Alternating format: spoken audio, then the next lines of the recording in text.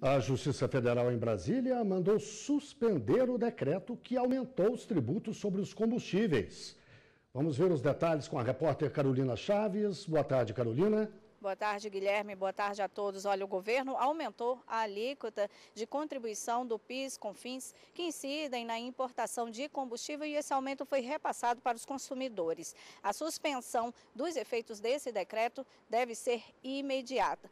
Segundo o juiz da 20 Vara Federal de Brasília, Renato Borelli, nenhum tributo pode ser cobrado antes dos 90 dias da publicação da lei que instituiu o aumento, sob pena de violar a Constituição Federal.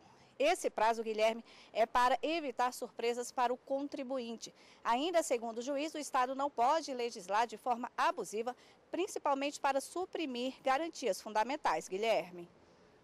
Obrigado, Carolina.